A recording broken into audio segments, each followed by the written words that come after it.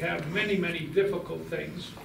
But Jesus came along, and he, he had this man who was in a miserable condition. And this man was not only in dire need of physical healing, but he was also in bondage to some evil spirits. And I've always kind of wondered, as we hear the atrocities of our day, I don't remember ever once uh, anybody referring to evil spirits behind some of these events. And I always kind of wonder when we hear of these atrocious atrocities that we continually hear in our country and across the world, remember, we really do have an enemy, and, and I kind of wonder if people still are being influenced by these evil spirits and these evil things that sometimes are affecting people to do what we think are just atrocious, atrocious things. We as believers understand that there are angelic beings and that there are demonic beings. There is no, as far as we know, UFOs, but if there is a UFO, they would be it, right? They would be it. And so we take a look at Matthew 12, 22 uh, in our study for today, and here's the condition of this man. Then one was brought to him who was demon possessed, blind and mute, and he healed him so that the blind and mute man both spoke and saw. What a marvelous thing. And, I was talking to Al uh, about uh, his son earlier, who's, uh, who's, who's been subject to so many different uh, difficulties and problems over the years. Uh, uh, and that one day for him, he'll be free there's a, there's a hope. So sometimes healing comes in this life, but we do know that healing, if it doesn't come in this life, will come in the next life. So when, when God promised to heal, he's going to heal. And it may not be now, but it's certainly going to be later. But this particular man uh, had the benefit of the very presence of Jesus, and uh, Jesus actually uh, created a miracle for this man. So Jesus completely and instantaneously heals the man and rids him of his demon possession. And this was undeniable an act of God that even the demons gave testimony to, we mentioned in Mark 3, 10, and 11. Now, number three, people in wonder and amazement were saying, could this be the son of David? And that's what these miracles were supposed to do. They were supposed to jar people out of their complacency and say, wow, this is something only God can do. Who is this man who's doing these marvelous, miraculous things? So we take a look at Matthew 12, 23. And all the multitude were amazed and said, Could this be the son of David? In other words, they're asking, Is this the Messiah? That's what they're asking. And the crowd seemed on the verge of trying to make Jesus their king. And the Pharisees quickly responded, Matthew 12, 24. Now when the Pharisees heard it, they said, this fellow does not cast out demons except by Beelzebub, the ruler of the demons. And this was the precise moment when everything changed. Everything changed. And this is number C. This is the unpardonable sin. Now we must read very attentively to what Jesus says here in Matthew 12, 31 and 32. 31 and 32. Therefore, I say to you, every sin and blasphemy will be forgiven men, but the blasphemy against the Spirit will not be forgiven men. Anyone who speaks a word against the Son of Man, it will be forgiven him. But whoever speaks against the Holy Spirit, it will not be forgiven him, either in this age or in the age to come. Now, I like what one commentator has written here. He was not saying that any and every blasphemy invoking the Holy Spirit's name is unpardonable. He was not announcing that there is some broad ambiguously defined category of unpardonable transgression.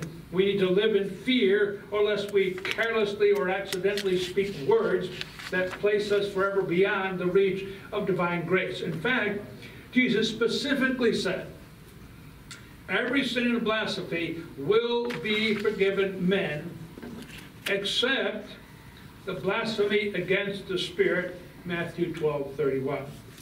Number two, thus his solemn warning about this extraordinary act of unforgivable blasphemy was purposely prefaced by a comprehensive statement declaring every other imaginable kind of sin and blasphemy is forgivable. And that's important for us to grasp. Because sometimes there are people who just live in fear. Have I committed something that's unforgivable? And there's uh, this is a good verse to go to. This is a really good verse to go to. So remember, every sin is damnable as long as the sinner remains impenitent and unbelieving. John 3.18. So let's take a look at John 3.18.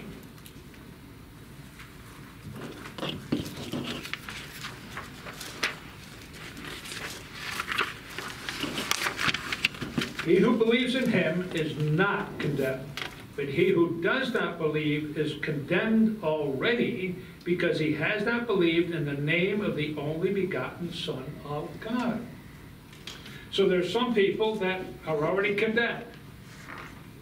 So it's not a matter of going before the Lord and finding if you're going to heaven or not. Some people are already condemned.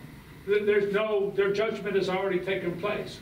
So unbelief already brings what? Judgment. Yeah, it's a, it's a damnable offense. So unbelief brings judgment. But even the vilest sin is forgivable with repentant faith. And that's what's so wonderful. You know, that's why you and I sit here today and we just worship the Lord and marvel and adore Him because I know I don't deserve anything. I know my sins are as black as any that we want to read in here. But He said they're forgiven if I would repent and come in faith to Him. And that's our 1 John 1 9. Um, many people know 1 John 1 9, but if you're not sure, let's take a look at it.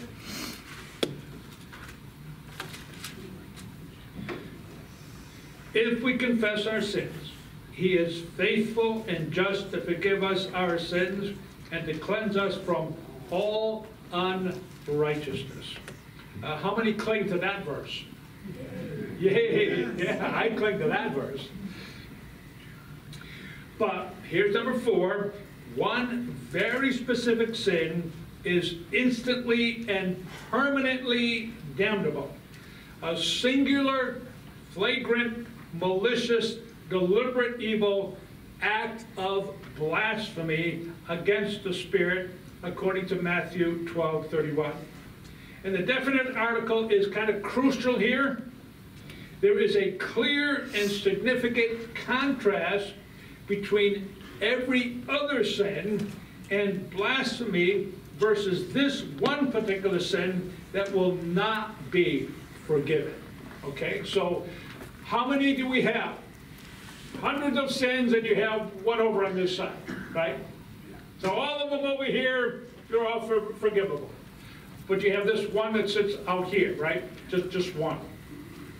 Okay, here's number five. This is number five. It was the blasphemy this highly band of religious hypocrites had just uttered. And that's kind of important. Now remember, sometimes it's the religious people of the world uh, that are the scariest people in the world, right? Uh, when you look at uh, those who are contributing to the crucifixion of Jesus Christ, you have certainly the Romans, and you might say, well, they're barbarians. But no, they, they had all kind of gods. So they're very, very religious people. Idolatry, granted. But then you had the Jews, who had the oracles of God and everything else that went with it. you have the Messiah who's standing right in front of them, who produces all kind of miracles, and both the Romans and the Jews are con- contributing to the crucifixion of Jesus Christ. But here we have this, this band of religious hypocrites, and they had just done something horrendous. So we take a look at Matthew 12, 23, 24, 31, 32. Okay, so 12, 23. And all the multitude were amazed and said, Come, could this be the son of David? Now when the Pharisees heard it, that said, This fellow does not cast out demons except by Beelzebub, Beelzebub, the ruler of the demons. But Jesus knew their thoughts, and he said to them, Every kingdom divided against itself is brought to desolation, and every city or house divided against itself will not stand. If Satan cast out Satan, he is divided against himself. How then will his kingdom stand? And if he cast out demons by Beelzebub, by whom do your sons cast them out?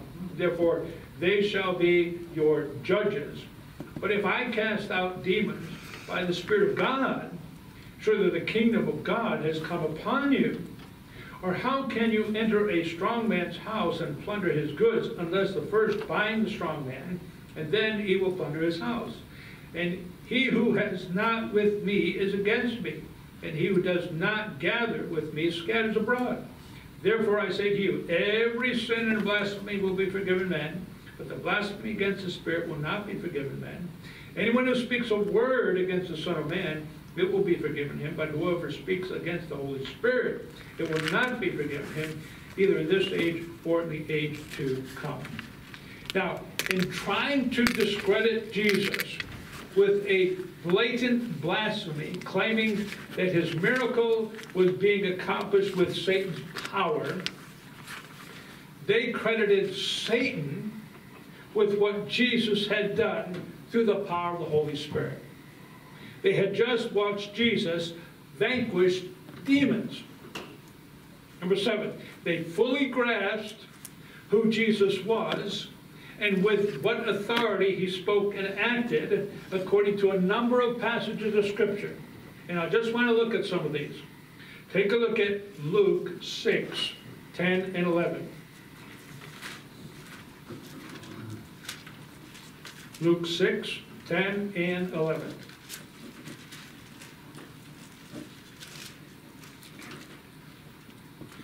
Six ten in Luke says, and when he had looked around at them all, he said to the man, Stretch out your hand, and he did so, and his hand was restored as whole as the others. Verse 11, but they were filled with rage and discussed with one another what they might do to Jesus. Take a look at John 11, 47. John 11, 47.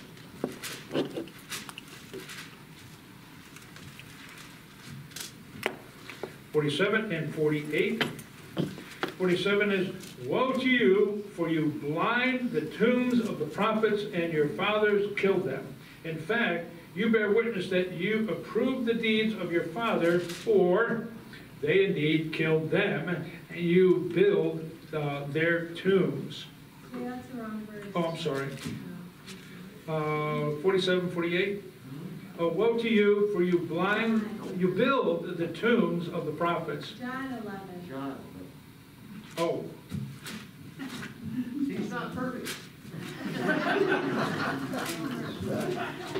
I didn't turn up pages. Okay, 47 and 48. Then, then the chief priests and the Pharisees gathered the council and said, What shall we do? For this man works many signs. If we let him alone like this, everyone will believe in him, and the Romans will come and take away both our place and nation. And then uh, we're taking a look at John 12, 9.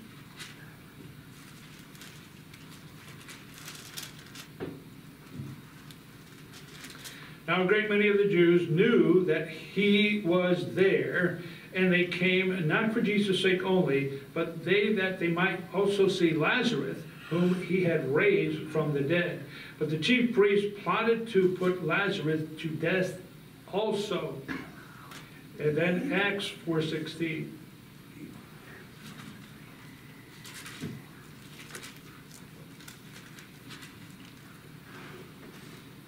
Saying, What shall we do to these men? For indeed, that a notable miracle has been done through these, through them is evident to all who dwell in Jerusalem, and we cannot deny it.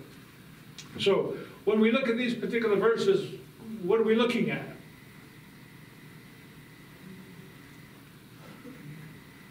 They had grasped, they had grasped what was going on here. They had truly grasped what was going on. And yet, they hated him. So they grasp what's going on. He's healing, he's identifying himself, but yet they ended up hating him. Thus, when Jesus spoke to them, it was without mercy and it is without grace. And I want to tell you, there's there's something that that there are some things that be that are terrifying to me to think about. When you think about hell as a place without mercy and without grace, it's something hard, hard for me to fathom. It's just hard for me to, great, uh, to grasp. Now, I can wake up this morning, I can see, I can smell, I can uh, enjoy, I can uh, look around, I can uh, worship, I can gather, I can, there's so many different things that because of the grace of God, I can experience. Now, if you removed every pleasure, every enjoyment, every anything that you find would be a blessing in your life, remove it all, and compound that, you're probably going to end up with hell. But think of an individual who's now already there, but they haven't been sentenced there. So think of an individual who's now been pronounced by God, by Jesus, no mercy and no grace. And we think God is all merciful and always graceful, and it's just simply not true. Yes, He is, He has been to me, but the only reason, the only reason is He, he has allowed me to believe, and He has allowed me to repent. But there are those in this particular instance that they have no mercy and they have no grace. And that's what Matthew 34 and 37. Matthew 12, 34, and 37.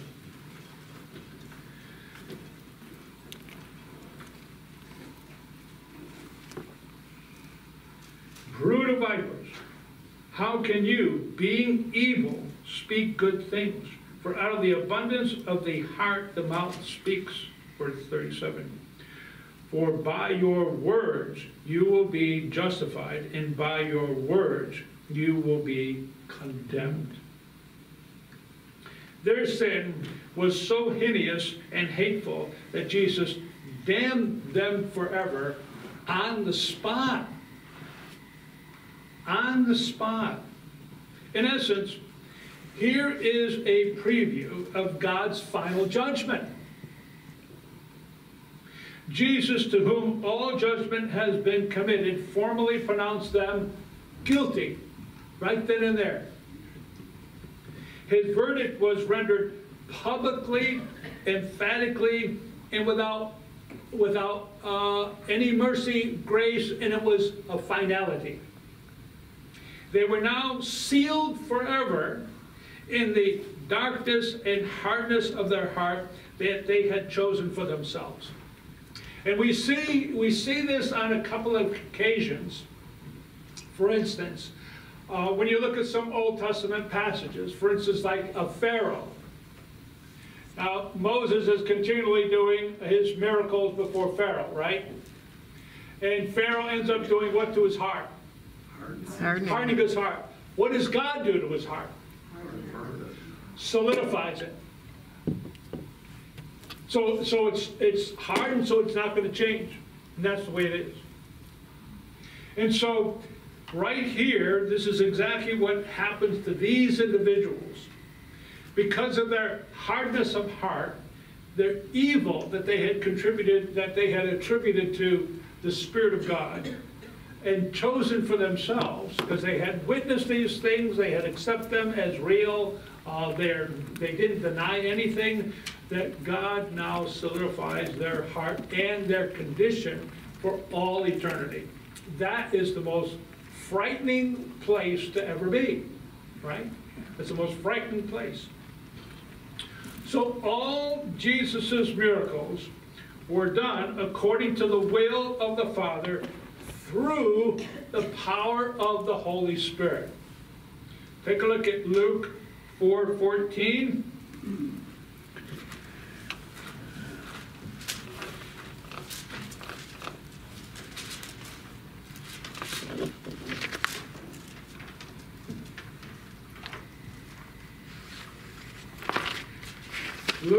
Luke 4:14 says, Then Jesus returned in the power of the Spirit to Galilee, and news of him went out through all the surrounding region.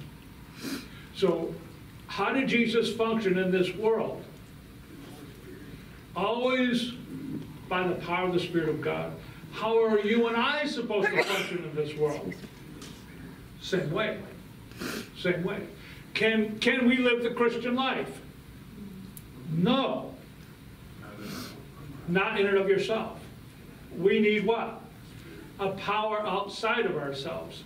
And Jesus, when he became son, when he, as the Son of God, who makes us sons of God, the way he functioned is the way we function. Let me just give you a couple other verses here. Uh, John 5 19. And when they could not find how they might bring him in because of the crowd, they went up to the housetop and let him down with his bed through the, through the tiles into the midst before Jesus. Wrong verse. Wrong verse again, sorry. Keep flipping over, I'm flipping over too many verses here. John 5 and 19 says this. Then Jesus answered and said to them, Most assuredly, I say to you, the Son can do nothing of himself, but what he sees the Father do, for whatever he does, the Son also does in like manner. Uh, verse 30. I can of myself do nothing. As I hear, I judge. And my judgment is righteous because I do not seek my own will, but the will of the Father who sent me. We're still in John 8 28.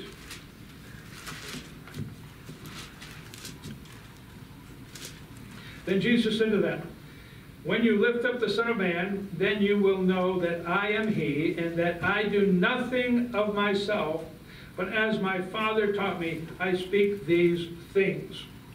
And one more, this is in Acts 10:37.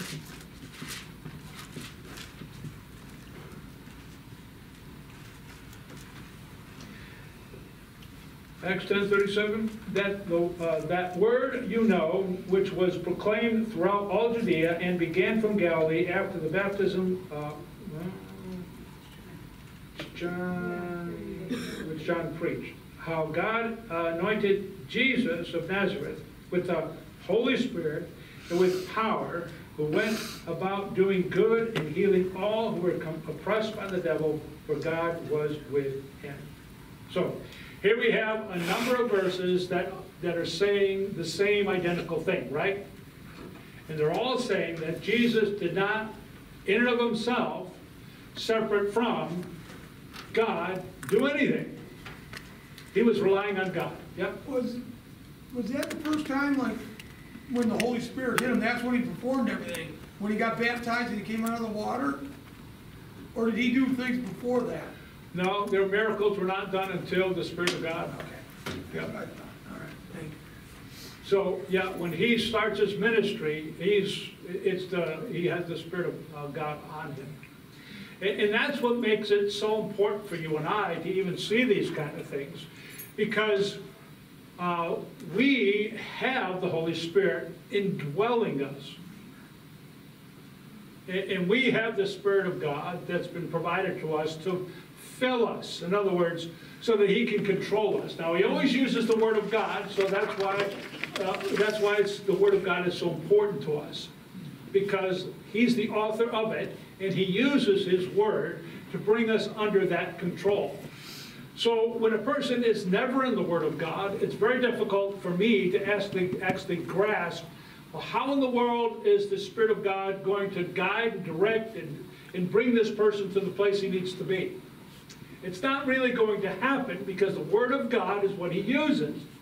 So the Word of God becomes so crucial to the believer's life.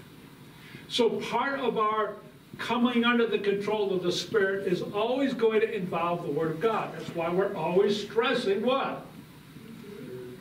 Yeah, read it, know it, memorize it, meditate on it, make it a part of your life, see through it, do it, do what it says. Everything that the Spirit of God does is going to come through the Word of God. And we cannot live the Christian life in and of ourselves. So not only do we need a power from above, we need, uh, we need to know what He has to say. Uh, so the Spirit of God is what actually powered Jesus, energized Jesus, and He did not do anything in and of Himself. Now, I don't know about you, that puts me in a very precarious place if I should wake up this, this day and say, okay, I'm going to live my way. I'm going to do it my way. I'm going to live without, you know, consulting or relying on the Spirit of God.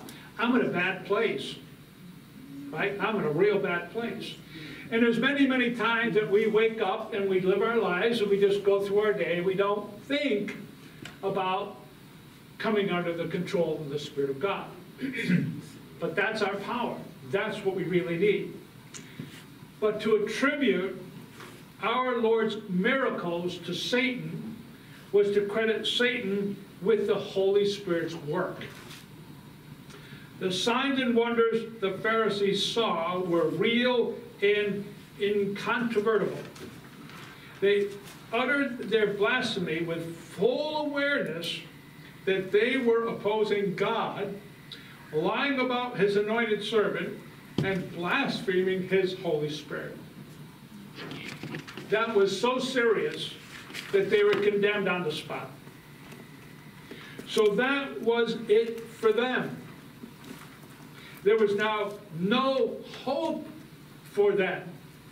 And this is really uh, unusual to see a, a, a group of people that actually are in a place of no hope. Because we always say there's always hope for as long as you breathe, right? There's always hope. There wasn't hope for these people. There was no hope. And sometimes it's the religious people that find themselves in that place. Because they actually will attribute things that only God can do and actually blame it or attribute it to Satan. So they had deliberately closed their eyes and stopped their ears to the truth for so long that rejecting the most powerful possible testimony to the truth, and they chose to lie instead. And this is the reality of Hebrews 6, uh, 4 through 6. So let me take a look at Hebrews 6, 4 through 6.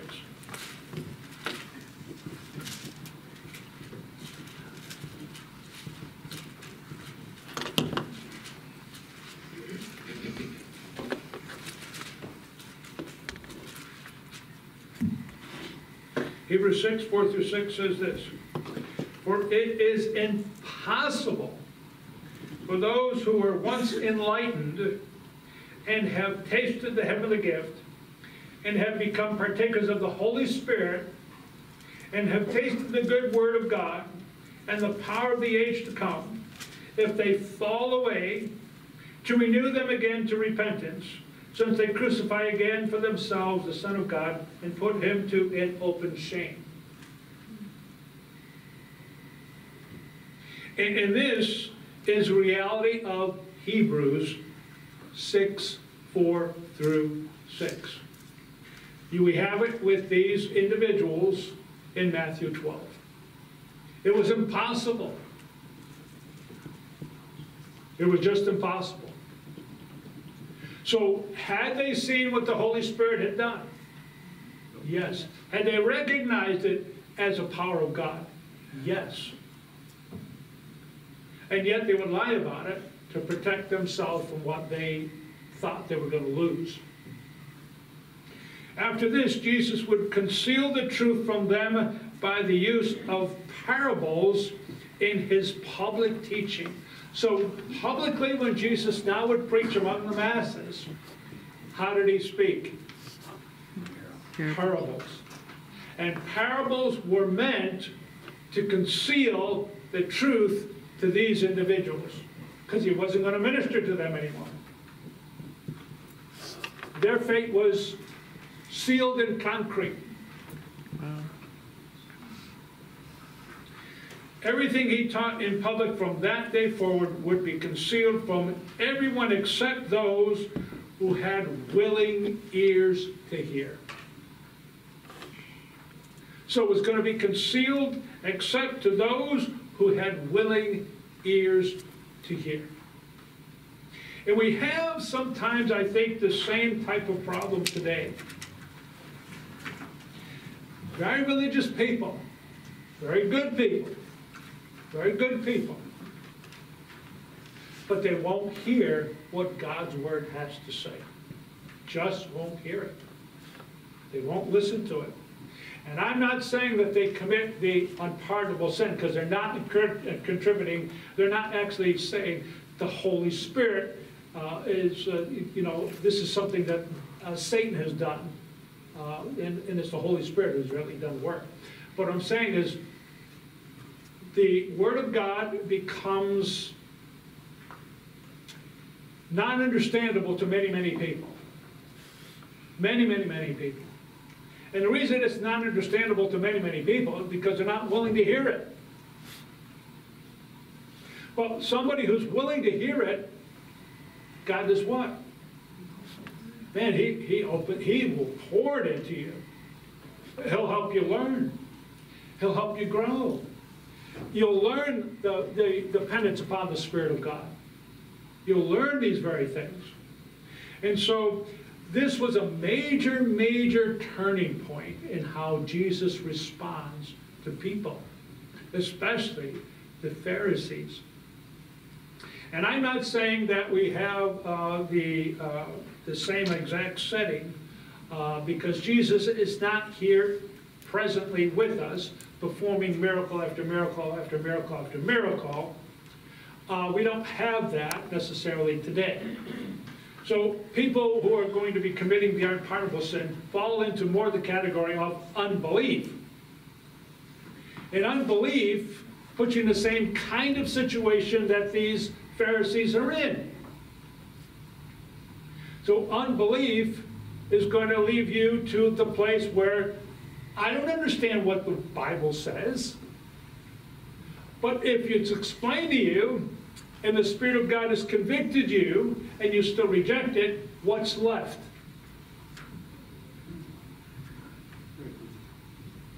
If God does everything that's need to be done, He's provided you a Savior, He provides you the Spirit of God, He provides you the Word of God, He provides everything you need, and you say, I don't believe it, what's left?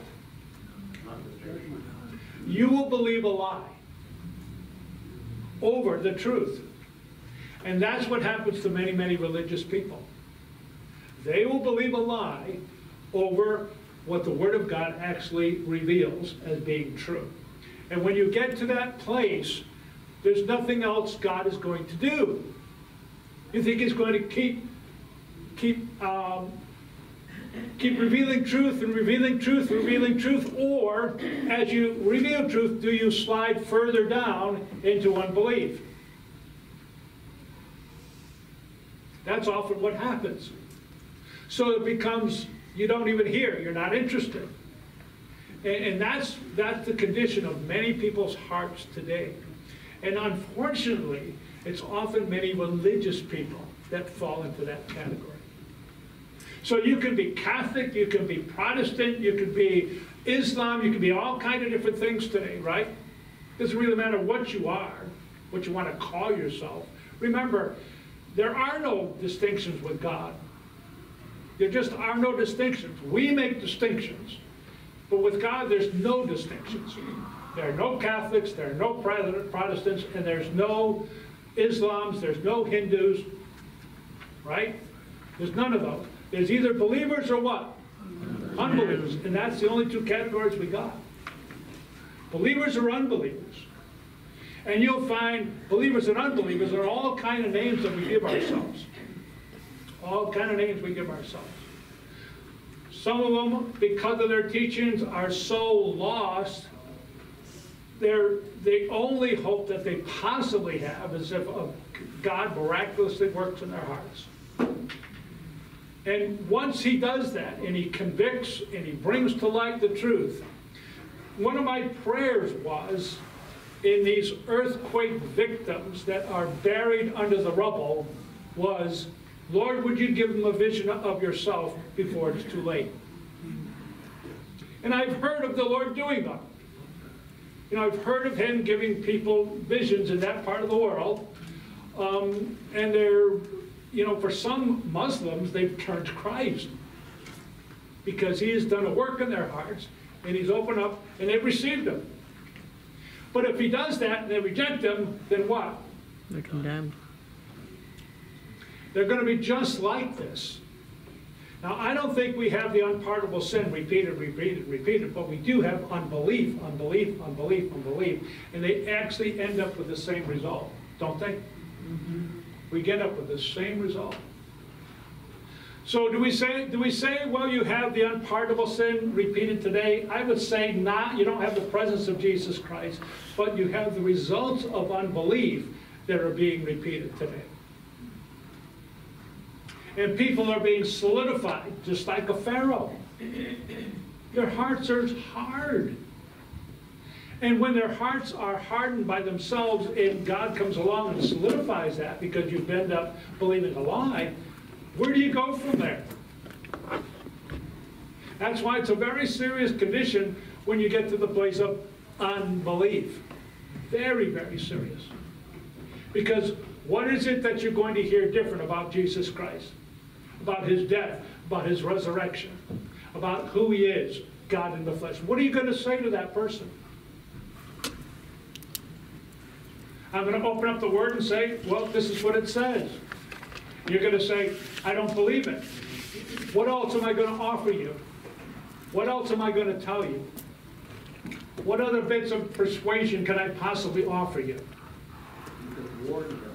I can warn them, right? I can warn them about the eternal place that they're heading to. But many people don't believe in hell either. True. One of these parables we get to, you're going to find that hell's going to be filled with religious people. Isn't that scary? That is scary. Hell's going to be filled. I mean, the Pharisees, what were they?